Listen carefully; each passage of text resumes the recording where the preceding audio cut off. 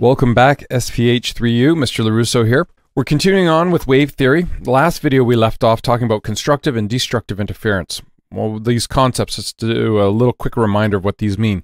With constructive interference, this occurs when we have two waves that have the same orientation in terms of their pulses. So when a crest and a crest wave meet, we get uh, interference that is constructive, which means that the amplitudes add to produce a larger wavefront.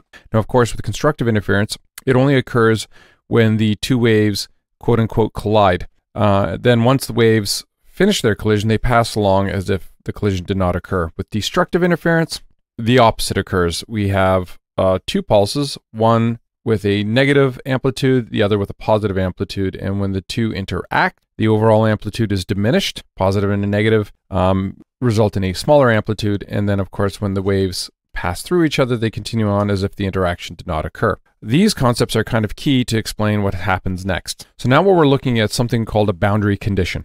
When waves encounter a boundary, there are going to be reflections. For example, here in this particular setup, we have what is called a free end reflection. And what that means is that this medium here is actually free to move versus something called a fixed end reflection. And this is where the medium is fixed down.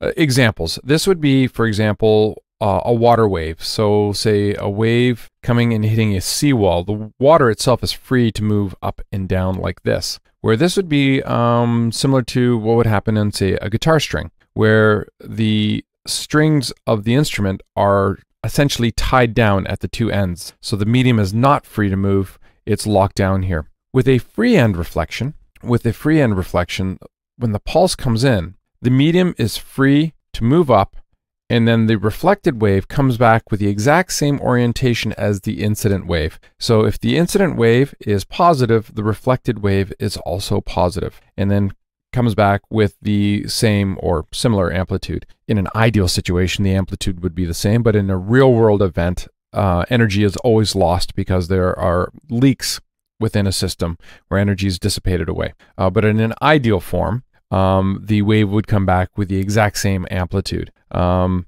compared to a fixed end reflection. Now, with a fixed end reflection, something else is going on here. The medium is not free to move at this point, um, and the medium itself, in order for um, a wave to pass through, has to have some type of elasticity. So this is actually really a conservation of energy situation here. In this situation, the wave was free to move, so we can uh, the kinetic energy was uh, conserved, and the energy was stored in terms of uh, a water wave. Um, in this in this case, actually, sorry, not as kinetic energy, but gravitational potential, and then it comes back, and it comes back uh, with the same orientation. In this case, since it's not free to move here, the energy kind of slingshots and causes the wave to overshoot down this way um, kind of like um, kind of like a slingshot. So the energy buildup, it's not free to move here. So when it comes back down, it comes and inverts itself. Um, and that's because of the way the energy has to be stored temporarily. And we get this inversion. Uh, let's check out a couple of animations. So here you have the fixed end, and over here we have the free end reflection. And you can see that on the fixed end reflection, the medium is not free to move. Where on the free end, it's allowed to slide up and down. So here, our medium slingshots down, so our pulse gets inverted, so our amplitude becomes uh, negative, where the amplitude here remains positive. Now, if we send a bunch of wave pulses, we get an interesting effect. Now, if you notice, during that pulse, take a look at the amplitudes. Rewind it back here a bit. All right, now we're going to pause this for a moment. Notice how the wave amplitudes are larger here. And what we're getting here is the reflected wave and the transmitted wave, they're actually interfering with each other. And we're getting constructive and destructive interference. So here you can see that the amplitudes are larger here. This means that the transmitted wave and the reflected wave are experiencing, at this point, constructive interference. We've caught it at a moment of constructive. Whereas on this wave here, the wave heights are slightly diminished. So at this point in the cycle, we're experiencing destructive interference. Let's see if we can catch it at a different spot. Now, here in this screenshot, or went a little further on in the cycle, you can see that in this fixed end reflection, we're now at a portion where we are experiencing a bit of destructive interference. But on the free end, now we're experiencing um, constructive interference. And it goes back and forth. So in both cases, the transmitted and reflected waves, transmitted and reflected, are going to go through series of constructive, destructive, constructive, destructive interference during the time that the transmitted wave and the reflected wave interact with each other, which is why we get this unusual pattern here where it appears that the wave is standing still. So watch again and you'll notice if you just focus your attention here, it looks like the wave is just moving up and down, but it doesn't look like it has any left-right motion until it comes back. This is the beginning of something called a standing wave. And the phenomena of a standing wave has everything to do with what happens when a transmitted wave and a reflected wave interact with each other in such a way that they are going to interfere with each other, uh, vacillating between constructive and destructive interference. Now, what you are seeing is a um, the, this behavior on a string, but this phenomena is what in everyday life experience what we see as, for example, a reflection. So when you see a, your reflection in a mirror, that is this type of um, wave phenomena occurring here. When you hear an echo coming off the side of a building, that is the same phenomena. Waves of all variety, whether it is light or mechanical waves such as sound, they experience reflections when they hit boundaries and they produce these interesting types of effects. So here's that mirror analogy I was talking about. So the blue is the incident wave and the red one is the virtual wave happening in the quote unquote mirror.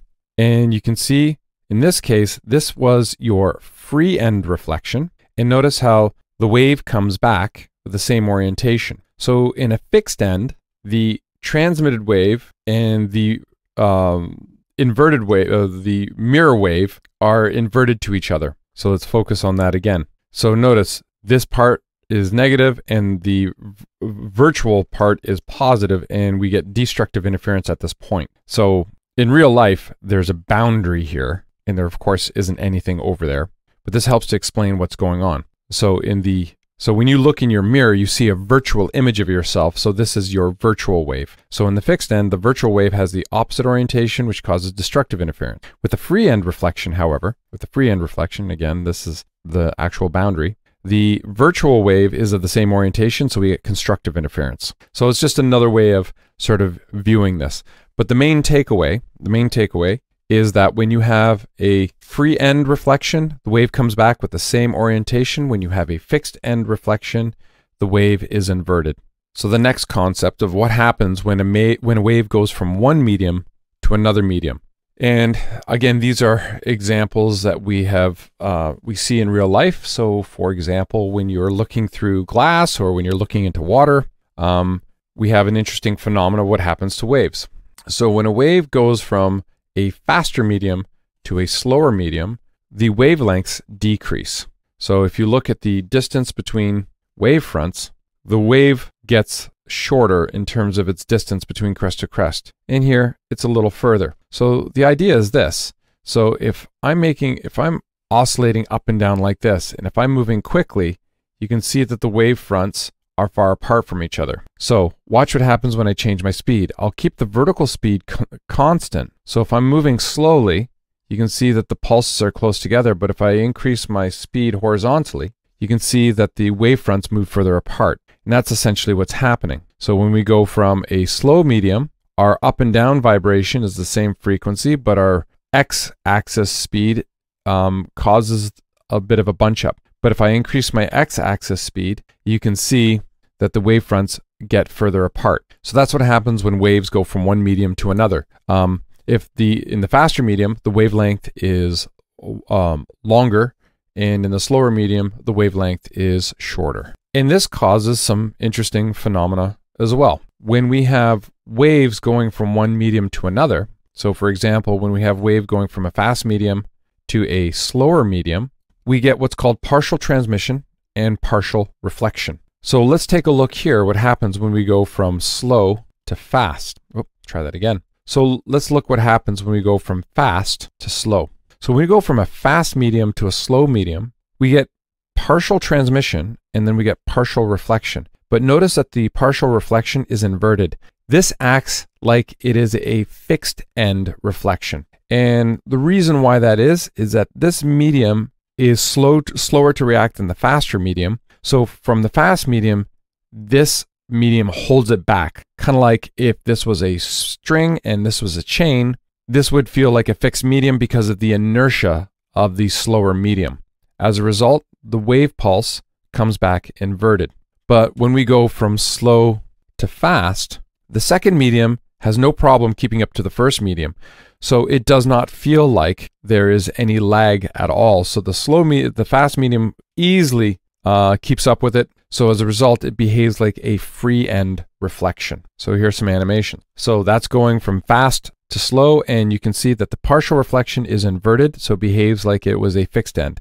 And then we have partial transmission. And then when we go from, I think we need to fix that. There we go. When we go from slow to fast, going from a slow medium to a fast medium, we had no inversion. So it behaves like a free end reflection. So what are some practical examples? Here's a practical example of partial transmission and partial reflection. So this is just a random picture of a house that I found on the internet. I'm sure the owners would be really happy that they know that their picture of their home is being used in a physics lesson. But as you can see, take a look at the glass here. So you can you realize that at some angles you can see inside of the house. So we know that if you're inside the house, you can you can see outside. But standing from the outside, you can see the reflection of the sky behind you. So we've got partial transmission and partial reflection. And here's another example, and this is from a building in London. This is One London Place. Now, as you can see, this building looks like essentially a giant mirror. So you can see the clouds being reflected and you can't see inside but the people who are inside can see outside. Um, this looks like a two-way mirror. Well, what what's occurring here? Well, at night, we th these aren't mirrors at all. And here's the same building, but at night, you can clearly see inside the building now. So in this case, the people who are inside have a harder time seeing outside, but the people outside have an easier time seeing inside. So what gives? All right, so here's the explanation. So let's say we're going to make a room. And we'll add a little window to our room here. Now inside, we have a light. And then outside, we have the sun. And over here, down here, we have our observer outside. So here's the thing. All right. And you know, I'll, I'll use I'll use two different colors here to represent the light. So for the light bulb, um, I'll use this orange. So now the light bulb is producing relatively small amount of light compared to the sun. Now what happens is only some of that light, a small amount, passes through and reaches the observer's eye. And the rest of it is reflected inside. So whoever's inside here will see a little bit of reflected glare off the windows. But during the day, the sun is very bright. So we'll do a very bright yellow. So now the sun is very, very bright and it's sending much more light inside compared to the reflected. So we can easily see the outside light because the sun is just so much brighter. But there's also a lot of reflection. And that reflected light is brighter than the little bit of light that's leaking out of the unit inside the high rise. So as a result, the observer on the ground sees this because the sunlight's reflection is so much brighter than the light that's coming out from outside of the building. But at night, but at night, our sun is gone. And as a result, the person inside the building has a hard time seeing outside, but the person outside has an easier time seeing inside because there's fewer uh, light sources reflecting off the glass and they can see the light from inside the building. So as a result, if you're inside a building and if you've ever tried to look outside, most people know that they have to go right up to the glass and cup their hands around their eyes to block out the external light coming from inside the house so they can see outside the window, or they have to shut off the lights inside the house in order to clearly see outside. So that's why uh, during the day, the building looks like a mirror, and at night, you can totally easily see right through. Okay, so now the next thing um, on the agenda is we need to talk about standing waves. So, in order to talk about standing waves, we need to talk about resonance first. All right, so, what is resonance? Well, resonance is a specific frequency which or frequencies which all systems naturally want to vibrate at. So, an example of this is a childhood swing. Now, when you're a little kid, and most little kids know, they figure it out, that when you're on a swing, let's make a little swing set here. So, here's the rope. So, we want to get the swing to rock back and forth this way and this way. Every little kid knows that you have to lean back and kick your feet at the exact right time in order to get the swing to start oscillating back and forth with increased amplitude. If you don't get the timing right, the swing just won't oscillate like the way that you want it to. So, resonance is a specific frequency or frequencies that the minimum amount of energy input produces a maximum output. Um, so there are lots of examples. So uh, resonating uh, a kid on a swing. Um, every musical instrument is based on resonance. So when you pluck the string of a guitar, that is another example of resonance. And we get the strings naturally want to vibrate at a specific frequency based on the length of the string, the density, and the tension on it. All right, so let's take a look at a practical example. Here's a bass guitar. So this is an example of a system that naturally wants to resonate. So if we look at this end, we have a guitar, we have the bass string, and here that's considered a fixed end. This is called the nut of the guitar. And down here is the bridge and is also fixed. And then when I play the note, you can see the string vibrating back and forth.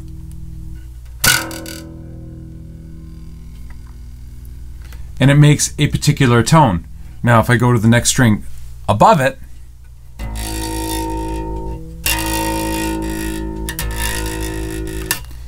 and keep going,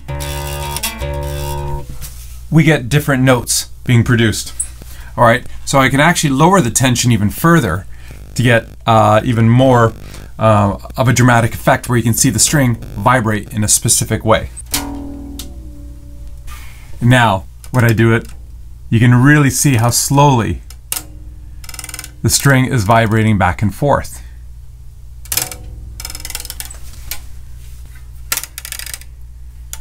So you can really see, and if you look at the end here, no wave energy here. And down here, same thing. So these are fixed reflections, fixed end reflections on both ends. And you can see I'm not doing anything special. I'm just plucking the string and it naturally wants to vibrate at that frequency. If I lower the tension even further, it vibrates even more slowly. I increase the tension, you can see that it vibrates much more quickly.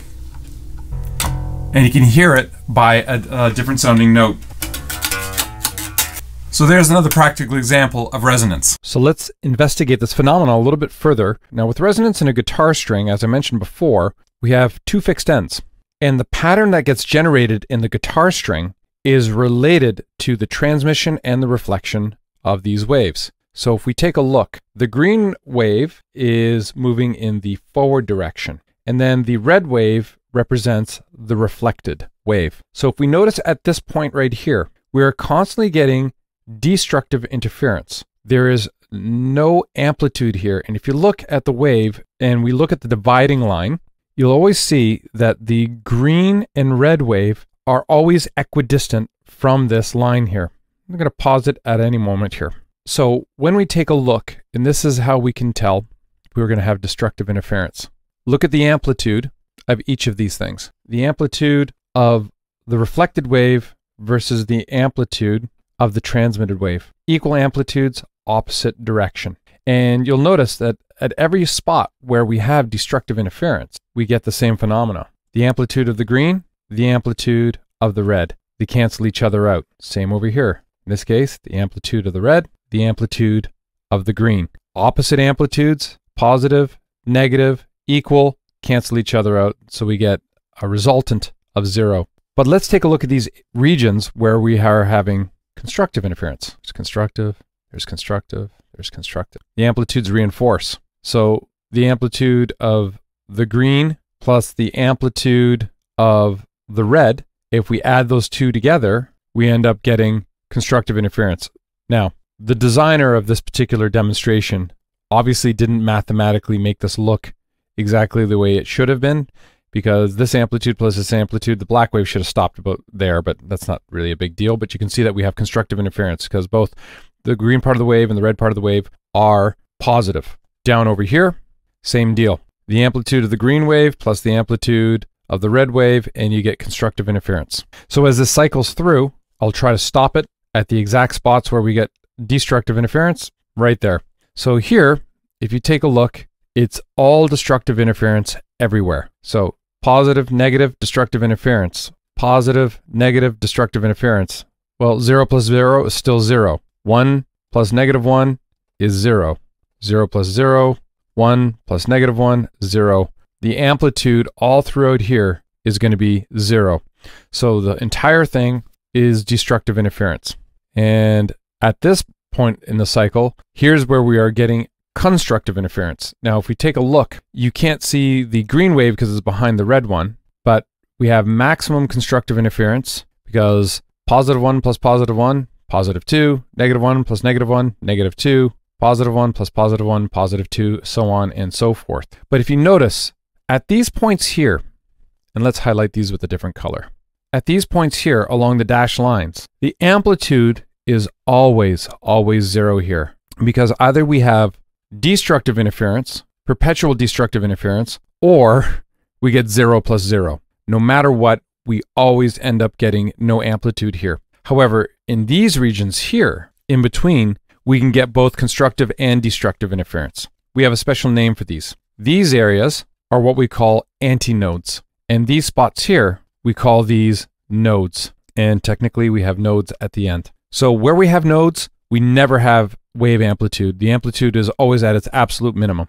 But in the regions where we have antinodes, we go from positive constructive interference, negative constructive interference, and in between destructive interference. And that's why it looks like a standing wave. So we so in the regions where we have antinodes, we go from constructive interference to to destructive to constructive to destructive, constructive, so on and so forth. And if the frequency and the lengths and all the other parameters are right, it appears that the resultant wave, which is the wave that is colored black, it appears to be standing still. But in reality, there are two waves that are interfering with each other the green transmitted wave and the red reflected wave. And it produces this particular pattern. So let's apply this idea to the guitar string. So here on our guitar, there's a node, there's another node, and right here in the middle, we have our antinode. And we can see that we're going from positive constructive interference. Down at the bottom is negative constructive interference, where the two negatives add. And then when it crosses the equilibrium, destructive interference. So constructive, destructive, constructive, destructive, constructive, so on and so forth. Now, this particular mode of vibration, this is called the fundamental or the first harmonic. So it's called the fundamental or the first harmonic. And in any fixed both end system, this is the lowest frequency possible frequency that we can get resonance. But there's more than one resonant frequency. And in fact, you can keep on subdividing it. Now let's take a look at what's called the second harmonic. Now with the second harmonic, where there once was an antinode, is now replaced with a node. And in between, we have two antinodes. This here is called the first overtone, or second harmonic. So let's take a look at the pattern here. And the pattern I want to show is this. Second harmonic, look how many antinodes we have. So let's go back to our first harmonic. And when we go back to our first harmonic, we're just going to count antinodes. So first harmonic, one antinode. Now let's jump to the second harmonic. We have two antinodes. So second harmonic, two antinodes. Let's take a look at the third harmonic. Antinode, antinode, antinode. So with the third harmonic, we get three antinodes. And you can see the pattern continuing on. Fourth harmonic, one, two, three, four antinodes. Fifth harmonic, one, two, three, four, five. Harmonics, one, two, three, four, five, sixth antinodes. And that is what we have modeled here. So with our first harmonic, one antinode, second harmonic, two antinodes, third harmonic, three antinodes, etc., etc. So this is fixed both ends. Well, there's also another type of resonant system, and these are air columns. So, for example, something like a flute. In these cases, with resonant air columns, if it's open at both ends, it's the exact mirror of the fixed both ends. Let's take a look. Node, antinode, node. All you do is if it's open both ends, everything's flipped. So instead of having nodes at the ends, we have antinodes. Same with this. Node, antinode, node, antinode, node. It's just the reverse. But the the takeaway from this is how much of a wave we have here. Well, when we take a look, let's take a look at a sine wave. When we draw a sine wave, a full cycle of a sine wave is this. But then, if the reflected wave is the exact opposite, we then get this pattern right here. So if you look, one antinode, one antinode is equal to half of your wavelength. So the distance from node to node is always equal to a half wavelength. So in this case, we have a half plus a half, two halves lambda, second harmonic. Look at the numerator, one half, first harmonic. All right, one half plus another half plus another half. That's three halves lambda, third harmonic. And then one, two, three, four halves. One, two, three, four, five halves, fifth harmonic, so on and so forth. So the takeaway between node and node is always equal to half lambda. That's also true if we go from antinode to antinode. That is also equal to one half lambda. But what happens when we have what's called fixed one end? And what's a fixed one end? This is an example of an example of this would be a pendulum. So a pendulum is basically a mass that swings back and forth. This would be considered the antinode, and this would be considered the node. And in this case, the distance from node to antinode is only halfway because we know that from node to node is half wavelength. So therefore, from node to antinode has to be a quarter lambda. So in this type of system, this type of resonant system, we have to have a node here and an antinode here. That's why it's only equal to one quarter. So here is an example of fixed one end. So the first harmonic, which is represented by the resonating black line here, in this case, it's going from node and we have one antinode. And this distance is equal to one quarter lambda. Now let's take a look at the next harmonic. We're always forced to have a node and an antinode. But the rule is you it always goes node, antinode, node, antinode. You can't have two nodes in a row. So we have to go from node for the next mode of vibration, antinode here, and then a node here, then an antinode. And then what you can see here is that we have with the red resonating wave, here we have one quarter plus another quarter plus another quarter. So that equals three quarters lambda. So our first one was one quarter lambda. Then we skipped the second harmonic and we jumped right to the third harmonic. Now let's take a look at the next one. Again, node, antinode. So in this case, drawing out where all the nodes are. And in between, antinode, antinode, antinode, antinode, and antinode. So counting counting the halves, first of all, from node to node, we know that's one half, one half, one half, one half, and one quarter. So we've got one, two, three, four halves. So four halves plus one quarter is equal to eight quarters plus a quarter, and that's equal to nine quarters. So in this particular demonstration, they jumped right up to the ninth harmonic. So again, let's take a look at the static version. So node, node, antinode. So still node, antinode, but so now we count the nas. The first harmonic has one na. The next resonant frequency, which happens to be the third harmonic, has one, two nas, and three nas. This gives us our fifth harmonic, so on and so forth. So for an additional explanation, and this is a pretty good one, great hair too, click on this link in the OneNote and you can actually see a very, very well done explanation with visual demos of standing waves. So this one is pretty great. Gotta love those physics nerds, eh?